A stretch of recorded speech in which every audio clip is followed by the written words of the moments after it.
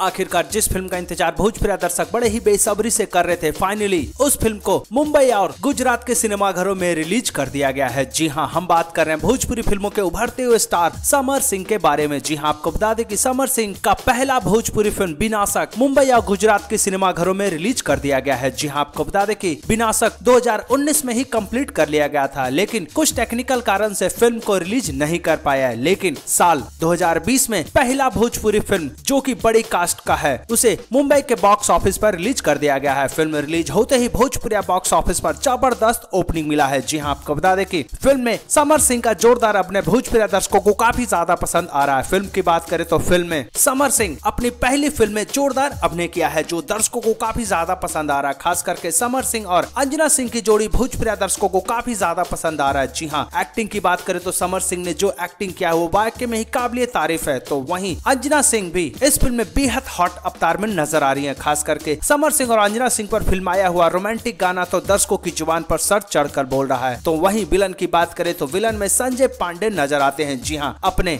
Villain वाले अंदाज में बेहद परफेक्ट बैठे हैं। जी हाँ विनाशक में विनय, संजय पांडे का जोरदार विलनीय अंदाज भोजपुरी दर्शकों को काफ़ी ज़्यादा पसंद आ रहा है। कुल मिला के कहा जाए तो विनाशक में वो सभी मसाला मौजूद है जो भोजपुरी दर्शकों को पसंद आती है। जी हाँ एक्शन रोमांस और सस्पेंस से भरपूर विनाशक मुंबई और गुजरात के सिनेमाघरों में ज़बरदस्त तरीके से हाउसफुल का बोर्ड लगा हुआ सभी सिनेमाघरों में नज़र आ रहा है। कुल मिला के कहा जाए तो विनाशक देखने लायक फ़िल्म बनाई गई है। भोजपुरी गॉसिप की टीम की तरफ़ से पाँच में से चार स्टार दिया जाता है। तो ऐसे में अगर आप लोगों ने अभी तक विनाशक नहीं देखा है तो आप अपने नजदीकी थिएटर में जाकर फ़िल्म को ज़रूर देखें। और जिन लोगों ने फ़िल्म को देख लिया है, वो हमें कमेंट करके ज़रूर बताएँ कि आपको विनाशक कैसी लगी।